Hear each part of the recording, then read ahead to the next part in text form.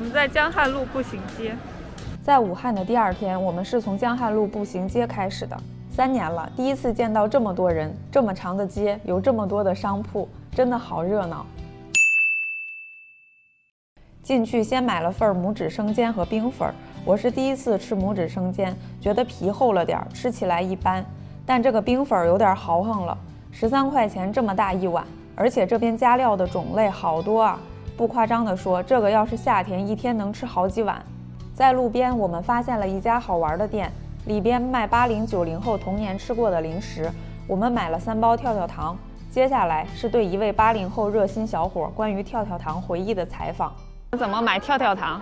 五毛钱抽奖，抽的好能够抽那个龙珠的卡，还是什么乱七八糟啊？送你一包吗？是抽抽奖，你为了抽那个龙珠的那个龙珠啊，还有那个是弹弹球嘛，抽那个龙珠的卡啊什么东西？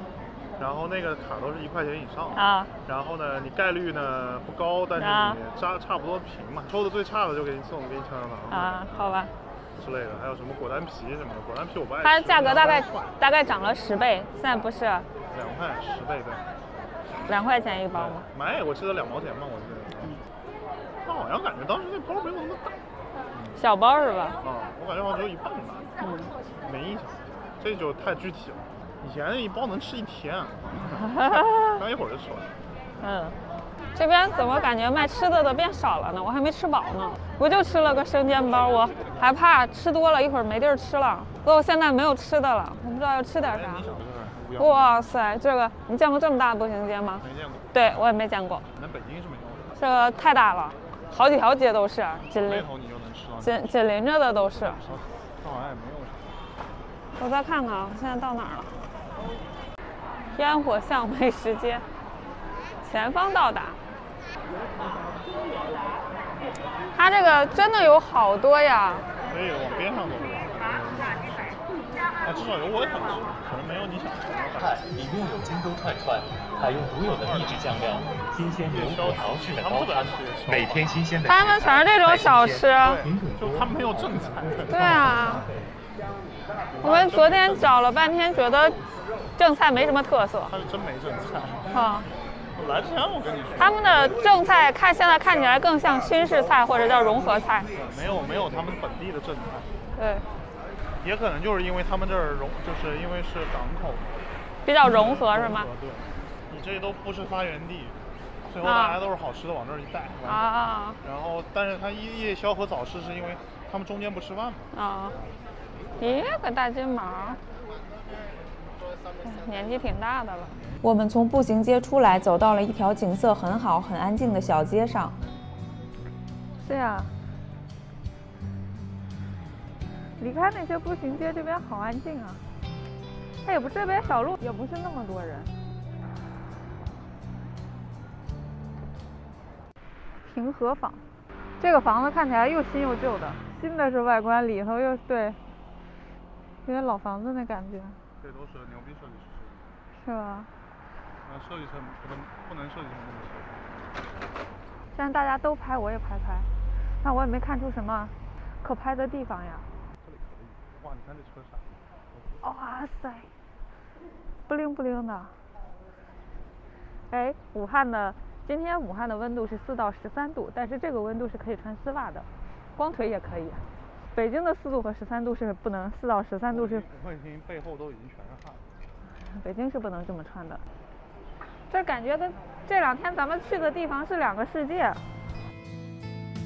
午饭吃的还是热干面这些，因为昨天没吃够，出了武汉就吃不到这么有特色的小吃了。吃完饭，我们坐公交车到的晴川阁。今天是周末，人太多了，车也太多了。晴川阁是网上预约或者现场预约进，免费景点，区域不大，走走停停，半个小时到一个小时就能玩。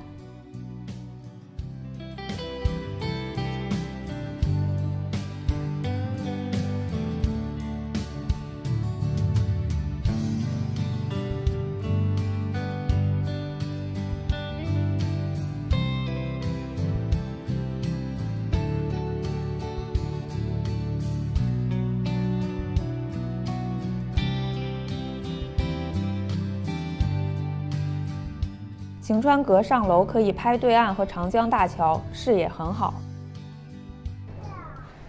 好冷啊！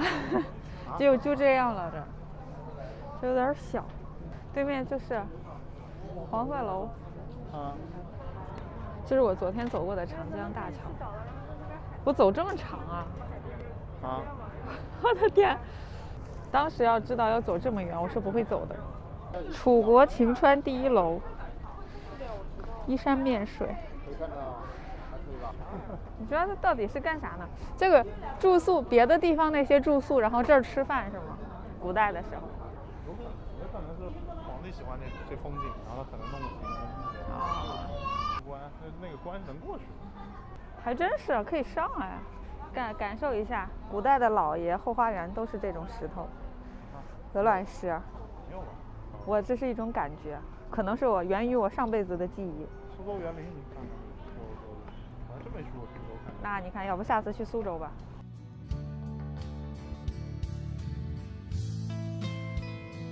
这个关口本来是有可以直接到龟山公园的入口，但是现在封住了。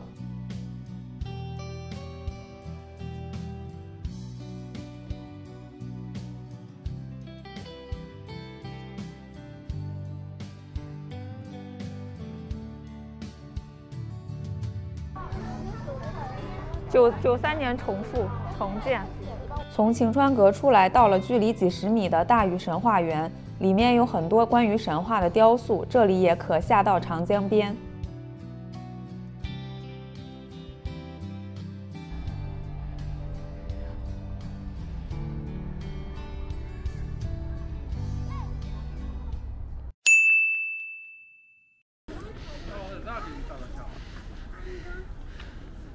龟蛇锁大江。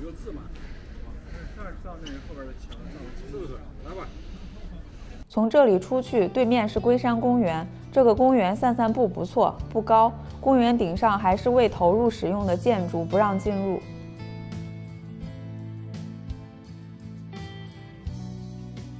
龟山公园拍长江大桥和对岸都很好看。我怀疑这边出口就是昨天我们买菠萝那地儿。嘿，对对对，哎，你这儿可以拍两张，我觉得还行，这儿这位置。今天天气拍出来还可以，比昨天强，通透性比昨天好一点。嗯。从龟山公园出来，又回到了大禹神话园里的晴川码头坐渡轮，直接在码头买票，船票十元一位。从晴川码头到对岸最多十分钟，要珍惜在船上的每一分每一秒，因为真的很快。这个有点有点惊喜啊，都没想过做这个，只能站着了。哇，好赞啊，这个！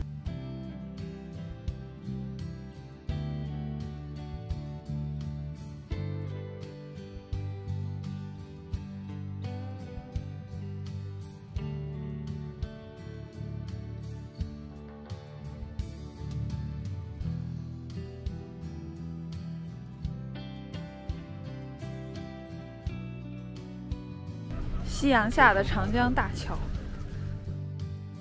从渡轮上下来，我们购买了晚上汉阳门码头出发的两江游览的船票。购买的时候一定要注意一下出发的码头，有好几个码头在同时售票。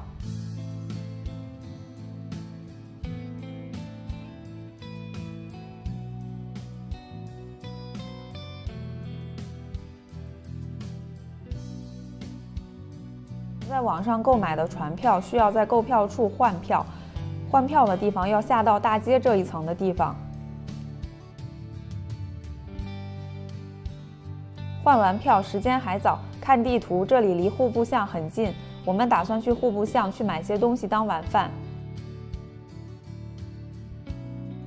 户部巷是个好地方，全是小吃，同样的东西价格感觉比外边贵一两块钱，味道不差的。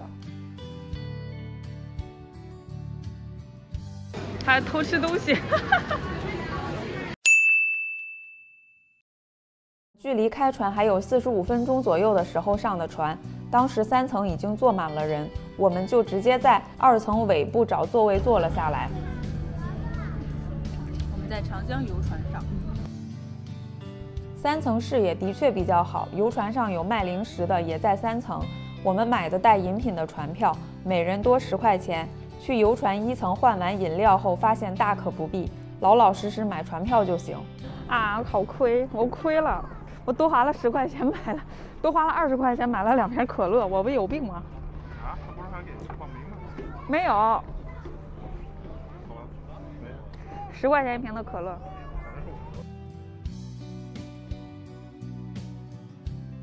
这一段游览整体时长一个小时，主要吹吹江风，看看两侧的灯光秀。路程是只在两个桥中间绕了一圈，觉得距离短了点儿，哪怕从桥底下穿一下都好啊。其他的也没啥了，带点吃的上来挺好，体验的主要是氛围感。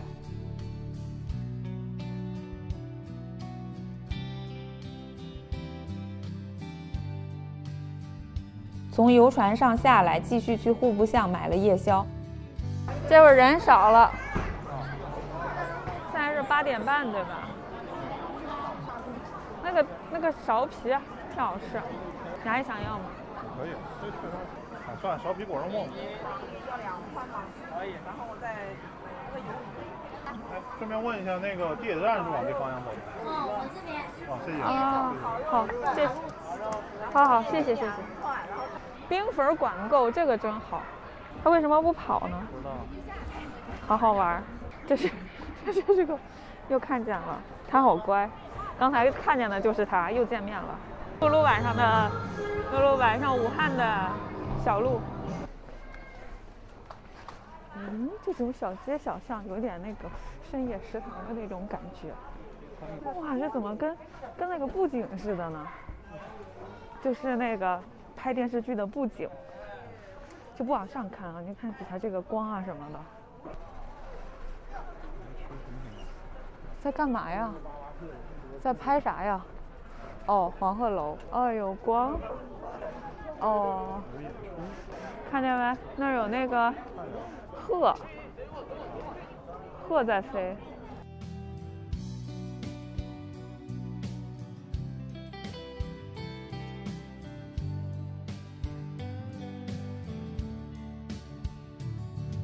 今天的旅程就结束了，今天是走马观花的一天，下期见，拜拜。